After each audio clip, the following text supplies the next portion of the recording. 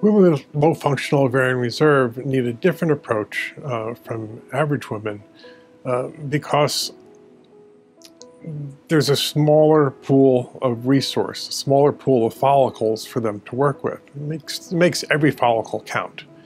Um, so uh, we ha have to uh, take approaches that will maximize the follicles that they have. Women with low functional ovarian reserve simply have fewer follicles in that group. And um, if you're not careful in the way you uh, stimulate or suppress them, um, you can lose those follicles.